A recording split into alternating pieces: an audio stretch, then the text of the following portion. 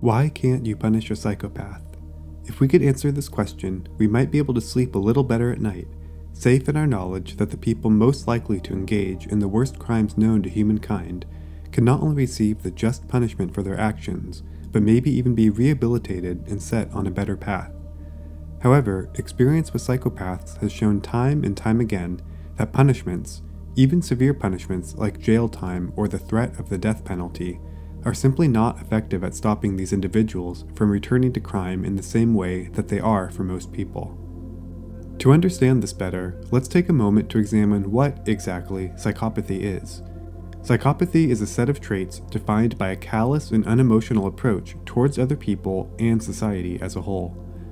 These traits predict a high chance of recurrent criminal behavior, often of a violent or sadistic kind, with many of the most notorious serial killers in history having shown evidence of psychopathic traits. While psychopathy is thankfully rare, affecting less than 1% of the population, it is more common in legal settings, with around a third of all violent prisoners showing signs of psychopathy. While locking these people up does help to get them off the street, this protection is only temporary, as incarceration and other forms of punishment do not appear to lower their chance of reoffending once they are released. Why is this? Simply put, psychopathic people are built differently. Two major neurobiological differences have consistently been found in research studies comparing people with psychopathic traits to those without. Let's look at each of these differences individually, then see how they combine to set the stage for recurrent antisocial behavior. The first of these differences involves empathy. Psychopathic individuals appear to have the ability to turn empathy on and off at will, rather than being forced to automatically feel the emotions of those around them as most people do. Take a moment to consider this image. If you're like most people, just looking at this picture will provoke an automatic and visceral reaction that is not unlike pain itself. In fact, this sensation is even processed in the same parts of your brain that register physical pain even though you haven't actually been injured. For people with psychopathy, however, seeing this image does not automatically induce this agonizing sensation, and the parts of the brain involved in processing pain stay turned off when watching other people in distress. While it's tempting to conclude that psychopaths are unable to empathize with the feelings of others, this isn't the case, as the regions of the brain associated with empathy do turn on when they are specifically asked to consider how others feel. Instead, it appears that these empathic networks are off by default, even if they can be activated with effort. This explains why people with psychopathic tendencies can be manipulative and even quite charming when they want to be, as they can turn on their empathic switch when it suits them and leave it off the rest of the time.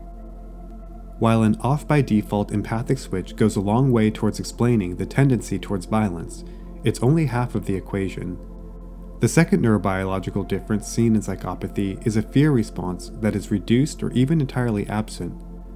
Individuals with psychopathy do not appear to experience fear in the same way that most people do, with reduced activity of the sympathetic nervous system and its associated fight or flight response being seen.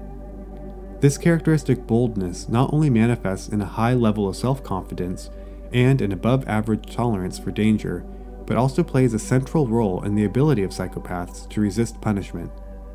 Let's see how this plays out using a familiar example. Picture a boy who is trying to sneak a cookie from the cookie jar before dinner. If he's caught, he'll get a swat on the hand, a punishment meant to deter that behavior. Under this sort of threat, a child with normal reward processing will start to experience anxiety while approaching the cookie jar. The level of anxiety gets higher and higher as they approach the jar, and for many children, this anxiety becomes aversive enough in and of itself to make them back down. By walking away from the cookie jar, this anxiety rapidly dissipates, effectively reinforcing the good behavior of not taking a cookie. For these children, even just the threat of punishment is painful enough to make them change their behavior. In contrast, someone with psychopathy and its related fearlessness would not experience anxiety as they approach the cookie jar, so there is no built-in punishment just for thinking about taking a cookie. In fact, people with psychopathy seem to respond even more to rewards than punishments, so if they were to walk away from the cookie jar, they would likely feel more anxiety than going towards it due to the feeling that they've lost out on the opportunity to get the cookie. This makes it so that, for these people, doing the right thing is associated with feelings of anxiety rather than relief. In contrast, if they actually go through with it and take a cookie, they are rewarded both by the taste of the cookie as well as the avoidance of the anxiety of lost opportunity. In this way, trait based fearlessness sets up the decisional calculus in such a way that following the rules is punished while acting selfishly is rewarded. Let's move out of the lab and see how this abnormal response to rewards and punishments applies in the real world. Consider two people who have fallen upon hard times and are desperate enough that they get the idea to hold someone up at gunpoint and steal their wallet. In deciding whether or not to actually follow through on this idea, the first person would consider not only the money they would get, but also the punishment, which would include not only anxiety about going to jail if they get caught, but also the extremely unpleasant experience of seeing someone else in fear and pain, which would occur whether they got away with it or not. Based on these factors, this person would likely decide against the robbery, as the money is not worth both the fear of punishment and the aversive experience of seeing another person's distress. In contrast, if the second person had psychopathic traits, they would not only shrug off the chance of getting caught due to their trait based fearlessness, but would also avoid the negative experience of seeing the pain of others as they could simply leave their empathic switch off. With these two neurobiological differences in play, there's nothing to hold a psychopath back from the prospect of a financial reward, making them more likely to commit the crime than the average person. This specific combination of both an off by default empathic switch and an underlying trait of fearlessness effectively inactivates the usual mechanisms by which society deters crime through punishment, and actively hinders efforts at rehabilitating psychopaths to live by the rules of society. This has led to the belief that psychopaths do not respond to rewards and punishments. However, this is not true. While psychopaths don't respond to punishment, they do respond to rewards, and by incentivizing the right kinds of activities, we can set the stage for people with psychopathic patterns to still contribute to society. Indeed, studies have found that some people have the same callous and unemotional traits seen in psychopathy, but do not engage in criminal behavior. These people generally have the same abnormalities in brain regions linked to empathy, fear, and moral decision making, yet they spend their days raising a family and holding a job.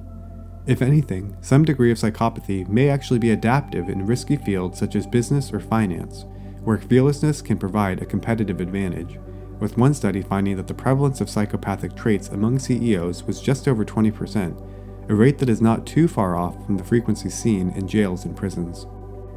Through this, we see that biology is not destiny. Even for someone with a disposition towards callous and unemotional traits, an environment that doesn't rely solely on punishment to guide behavior, but instead rewards the right outcomes, can allow these people to go in a different direction and funnel their energy into activities that benefit not only themselves, but society as a whole. Thanks for watching this video. It was my most requested topic on a recent poll I posted on my YouTube page, so subscribe to my channel if you'd like to vote in future polls. I'd love to hear your feedback on this video, so leave a like or comment below. You can also check out my book Memorable Psychiatry to learn more about psychopathy and other fascinating conditions in this field. Until next time, bye for now.